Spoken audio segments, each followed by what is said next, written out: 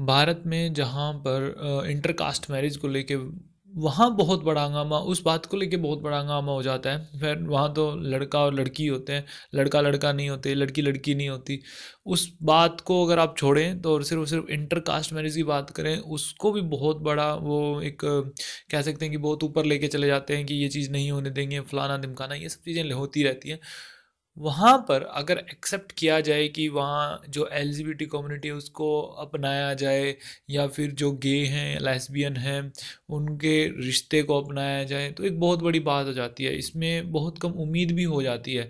खैर, जब supreme court का जब फैसला आया था तो एलजीबीटी कम्युनिटी को एक नई उम्मीद नज़र आई थी। लेकिन मेरे हिसाब से अभी थोड़ा बहुत टाइम लगेगा लोगों को अपनाने में इन सब चीज़ों को।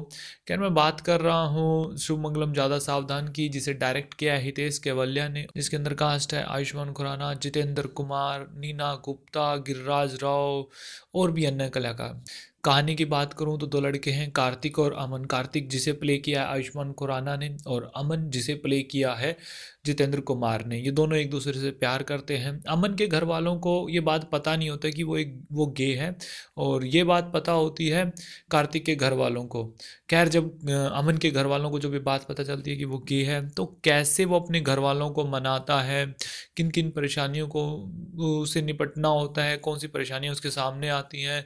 तो ये सब चीज़ें इस मूवी में दिखाई गई हैं। खैर लास्ट में जाके आ, सारे के सारे फैमिली वाले इस बात से मान भी जाते हैं कि ठीक है गे है इन दोनों को एक साथ रहने दिया जाता रहने दिया जाए कोई इसमें बुराई नहीं है एटलीस्ट दोनों एक दूसरे से प्यार करते हैं अपनी लाइफ एक साथ अच्छे से बिता सकते हैं।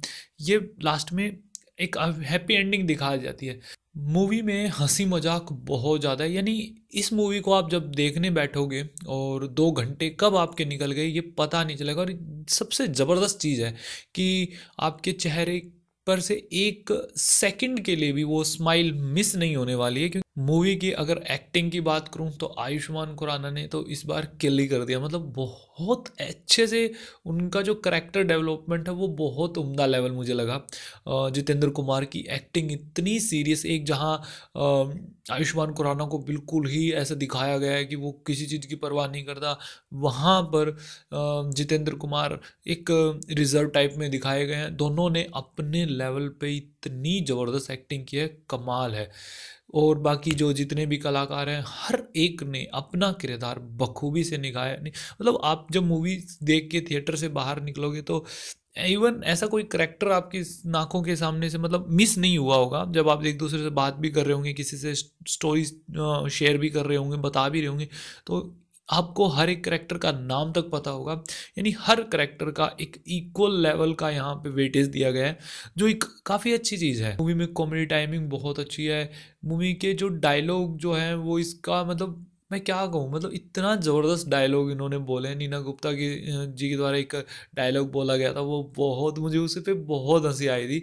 उनसठ साल का एक डायनासोर का अंडा ऐसा कुछ करके था, बहुत उमदा लेवल का मुझे वो लगा। चलो अब कुछ सीरियस बातें कर लेते हैं। खैर, कुछ चीज़ें यहाँ पे पॉइंट आउट करनी मुझे लगता है कि मेरे ओपिनियन से जो छोटा बच्चा होता है, जिनकी मानसिकता भी बड़ी ही कच्ची है तो मुझे लगता है कि उन लोगों, उन बच्चों को अभी ऐसा कुछ चीज़ों को पढ़ाया ना जाए, ऐसी कुछ चीज़ें दिखाई ना जाए, बताया ना जाए, उनके सामने ऐसी कुछ चीज़ें का ज़िक्र भी ना किया जाए, क्योंकि अगर जो एक बच्चा होता है ना, उसका दिमाग बड़ा ही कोमल होता है मतलब कि वो कब किस टाइप में ढल जाए पता ही नहीं होता ना तो उसे अपने हाल पे छोड़ो। वो जब बड़ा होगा, तब वो खुद अपनी सेक्सुअलिटी खुद डिसाइड करेगा कि हाँ कि उसकी सेक्सुअलिटी है क्या।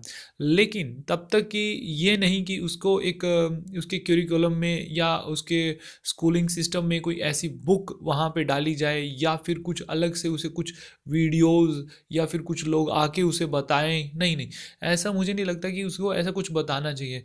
वो अपनी सेक्सुअलिटी जब बड़ा होगा, वो खुद डिसाइड करेगा।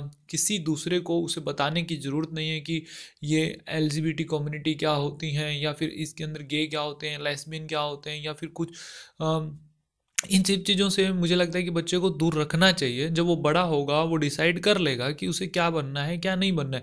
अगर फ़िलहाल उसे अभी से ही अगर ये सब चीज़ें बता दी जाती हैं तो वो अपनी मानसिकता को लेकर इतना कन्फ्यूज़ रहता है कि वो खोजने में लग जाता है कि वो है क्या। अगर ऐसा चलेगा तो बच्चा आने वाले टाइम में कैसे वो महान लोगों की श्रेणी में शामिल हो पाएगा, जिन्होंने इतिहास में बहुत बड़े काम किए हैं। वो सिर्फ़ और सिर्फ़ उसी चीज़ में ही घूमता रहेगा कि उसकी सेक्सुअलिटी क्या है, वो क्या बनना चाहता है। तो ये सब चीज़ें मेरे ओपिनियन से एक बच्चे को तो बिल्कुल भी नहीं बतानी चाहिए।